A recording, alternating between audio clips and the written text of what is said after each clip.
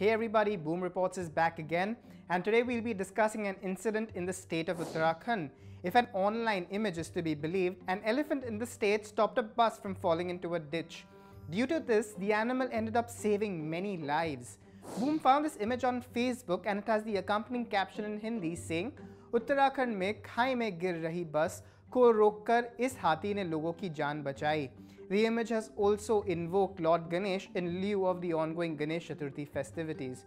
But is this image really from Uttarakhand? The fact is that this image is from Bangladesh. We at Boom performed a reverse image search and found the same image in a publication called The Star. The Star article was published on November 16, 2007. The picture was actually taken in the aftermath of Cyclone Sidra in Bangladesh by Associated Press photographer Pavel Rahman. Cyclone Sidra caused immense destruction in 2007, killing almost 15,000 people. The elephant was employed to clear a road south of the Bangladeshi capital of Dhaka. This confirms that the picture is from Bangladesh and not from Uttarakhand. If you have any doubts on the authenticity of a post or message that you receive, you can send it our way on our helpline 7700906111 and we'll fact check it for you.